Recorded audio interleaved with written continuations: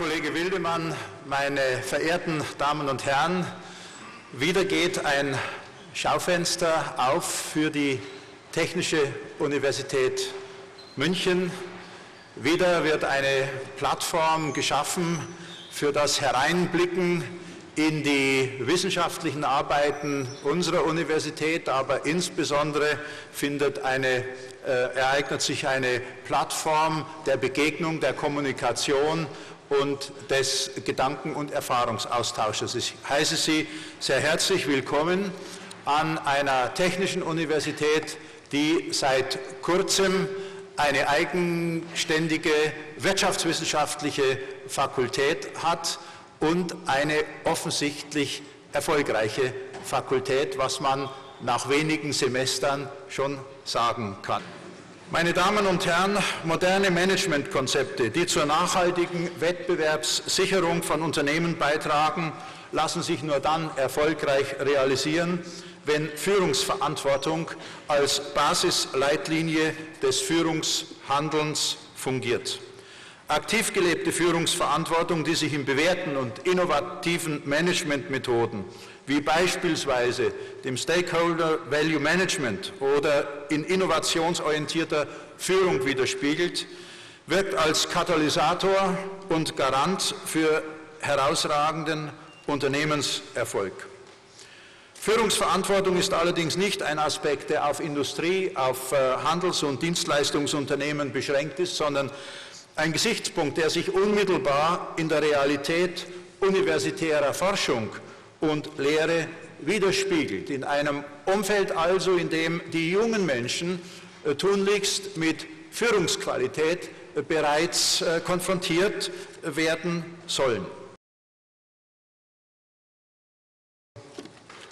Herr Bundesminister, Herr Präsident, meine Damen und Herren, ich begrüße Sie nochmals zu unserem Kolloquium und habe eigentlich äh, zu Beginn, als ich das Thema gewählt habe, Führungsverantwortung, gar nicht so ganz überschaut, welche Facetten ich denn dort alles behandeln muss.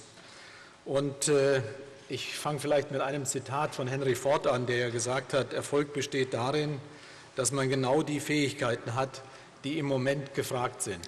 So geht es mir, denke ich, hier heute auch. Seit Jahren gehen die konjunkturellen Daten nach unten. Die Unternehmenspleiten nehmen ständig zu. Es stellt sich die Frage, ob dies nun auf äh, die unstrittig verschlechterten volkswirtschaftlichen Rahmenbedingungen zurückzuführen ist oder ob im Management die Führungsverantwortung nicht ausreichend wahrgenommen wurde. Es ist eine der großen Aufgaben und sie wird nicht nur von Managern selbst zu bewältigen sein, herauszufinden, wo die Schwerpunkte der Führungsverantwortung in der zunehmenden globaleren Welt liegen. Natürlich sind der Staat, die Tarifpartner und nicht zuletzt die Gesellschaft aufgefordert, effizienter zu werden. Es gilt, Herausforderungen anzunehmen, anstatt auf Besitzstand zu pochen. Um es mit einem chinesischen Sprichwort zu sagen, die eine Generation pflanzt den Baum, die nächste genießt den Schatten. Führungsverantwortung lässt sich festmachen an den Aspekten Risiko, Qualität, Wettbewerb, Organisationsstrukturen, Standortsicherung und Globalisierung. Nun zum ersten Punkt. Rettungsboote werden nicht in Sturmzeiten, sondern beim schönen Wetter gebaut. Verantwortung und Risiko macht deutlich, dass unternehmerisches Handeln ohne Risiko überhaupt nicht denkbar ist.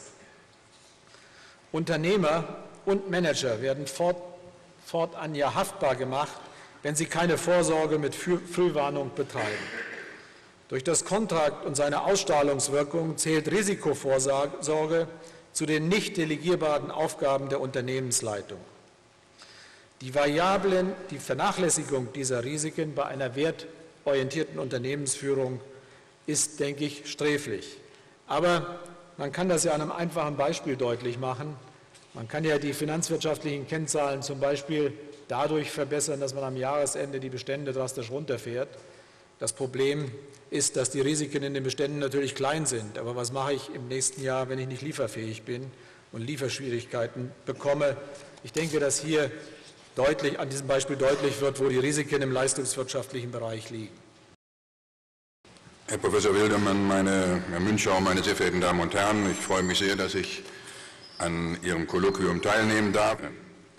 Wir wissen alle, dass die wirtschaftliche Lage in Deutschland labil ist und wir spüren, dass wir uns an einem Scheidepunkt bewegen. Es geht um nichts anderes als darum, unser in Jahrzehnten gewachsenen Sozialstaat, unsere soziale Marktwirtschaft auf die Bedingungen des globalen Wirtschaftens einzustellen. Das geschieht spät in Deutschland, um etliche Jahre später als in verwandten Volkswirtschaften, aber es geschieht hoffentlich nicht zu spät. Die gegenwärtige Lage in der Bundesrepublik Deutschland hat ihre Ursachen gewiss auch in der lahmenden Weltkonjunktur, von der ja Deutschland mehr abhängt als irgendeine andere Volkswirtschaft auf der Welt. Aber die gegenwärtige Lage hat eben auch nicht zuletzt zu tun mit strukturellen Fehlentwicklungen, denen die Politik in Deutschland seit etwa eineinhalb Jahrzehnten nicht ausreichend wirkungsvoll begegnet ist. Hier ist Verantwortung gefragt und hier ist Handeln gefragt. Das heißt, die Politik muss Fehlentwicklungen erkennen und vor allem muss sie den Mut aufbringen, solche Fehlentwicklungen, wo sie sie erkannt hat, zu stoppen und gegenzusteuern. Das heißt, sie muss den Mut zu unabweisbar notwendiger Veränderung haben, Mut zu den Strukturreformen, die unser Land, die unsere Wirtschaft dringend brauchen. Zum Dritten, Deutschland hat sich im internationalen Wettbewerb bewährt und ist zu einer der erfolgreichsten Exportnationen der Welt geworden. Die Globalisierung allerdings hat die Märkte offener, den weltweiten Wettbewerb härter denn je gemacht.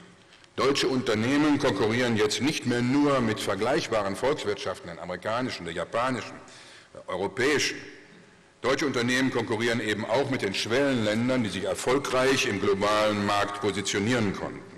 Und deren Arbeitskosten betragen oft nur Bruchteile der unseren.